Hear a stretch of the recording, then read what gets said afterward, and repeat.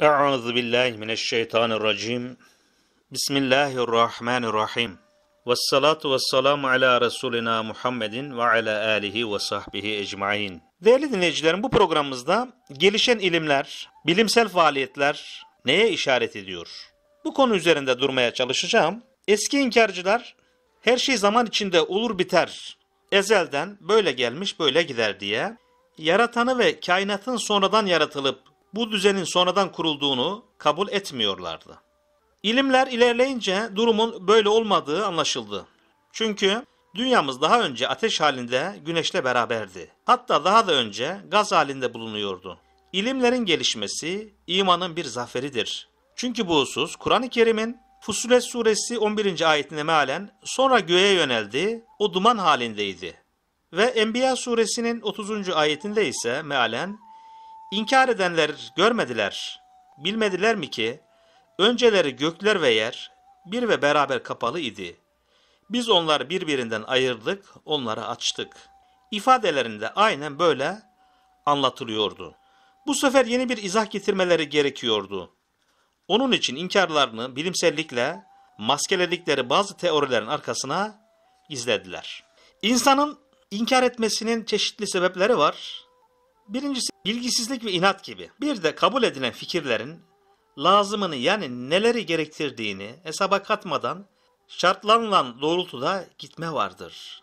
Biliyoruz ki durmadan mükemmele doğru giden ve kompleks bir yapıya sahip bulunan harika canlı vücutları maddi sebeplere, kör kuvvetlere, kendi kendine oluştuğunu zannettikleri kanunlara bağlıyorlar. Halbuki gayeli şekilde gelişen, orantılı biçimde ahenk içinde büyüyüp hayatını devam ettiren bir vücudun üzerindeki bir planı ve onu devamlı bir kontrol altında uygulayan gücü inkar ediyorlar. Mesela sperm olduğu halde kalmıyor. Geçirdiği safhaların her anında yepyeni bir sanat güzelliği içinde bir büyüme ve gelişme ile karşı karşıya bulunuyor. Kör kuvvet ve tesadüflerin yapması hiç mümkün olmayan bu durum, ilim, irade ve kudret sahibi bir yaradanı gösterip dururken, inançsızlar kendi fikirlerine göre öyle bir izah getiriyorlar ki, bu tutumları birçok meseleyi de beraberinde getiriyor.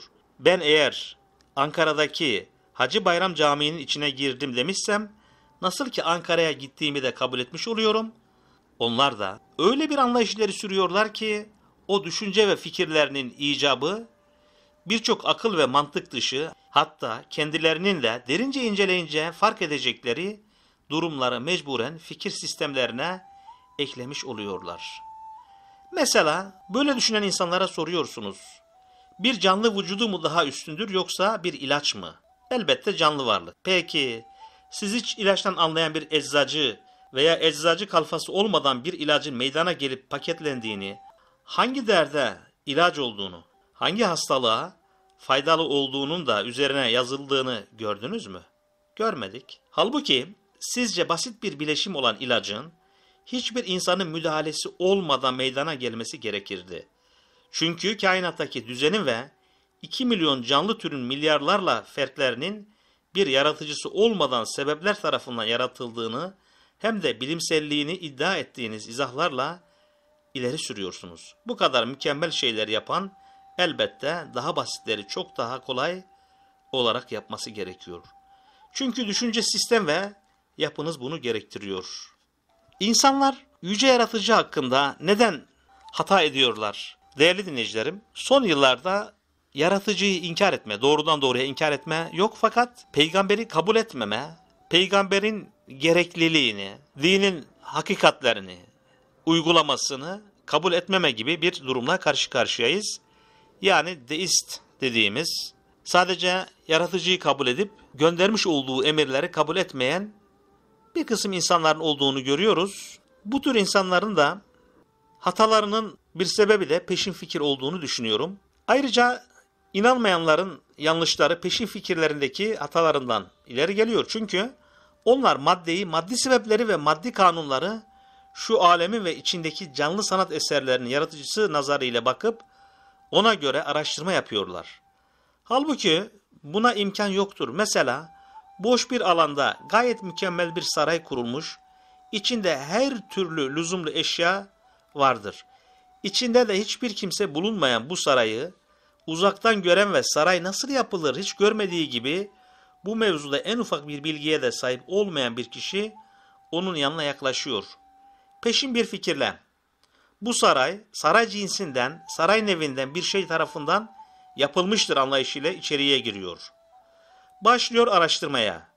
Kapı, pencere, taban, duvar hiçbiri bu sarayı yapamaz diyor kendi kendine. Sonra acaba maddi sebepler mesela rüzgarlar bu sarayın çimento, tuğla, cam, tahta gibi parçalarını tesadüfen buraya toplayıp bu binayı kurmuş olabilir mi? Acaba sarayı meydana getiren parçaların akıl ve bilgisi var da böylece kendi kendilerine mi meydana geldiler? Yoksa tabiat mı bunları yaptı diye düşünmeye başlıyor. Teker teker veya toplu halde bu üç fikirle işin içinden çıkamıyor ama ne yapsın? İleride ilim gelişir belki de bu düşünceleri ispatlar diye kendisini haklı çıkarmaya çalışıyor. Halbuki ilim ne kadar ilerlerse ilerlesin bu peşin fikrin ispatı katiyen mümkün olmayacaktır. Çünkü sarayın ustası saray cinsinden olamaz. Burada dikkati çeken husus, yaratıcının varlığını kabul etmeyenlerin kainattaki düzen ve ahenge, harika yarattıkların varoluş sırrına bir izah getirme mecburiyetinden böyle durumlara düşmektedirler. Yani onlar inkarlarını bir esasa dayandırma mecburiyetinde oldukları için kendi inançsız fikirlerine zoraki bir dayanak ve payanda arıyorlar. Yoksa derinliğine düşünen hiçbir aklı ileri sürdükleri şeyler tatmin edecek cinsten değildir. Bu mevzuda bütün görüşleri teker teker ele alıp incelediğimizde her şey apaçık görülecektir değerli dinleyicilerim. Değerli dinleyicilerim, iman hakikatlerini Kur'an ve Peygamberimiz Aleyhisselatü Vesselam'ın getirdiği hakikatler çerçevesinde inanmaya, yaşamaya, uygulamaya Rabbim bizleri, dinleyicilerimizi, sevdiklerimizi muvaffak eylesin. Allah'a emanet olun, hoşça kalın değerli dinleyicilerim.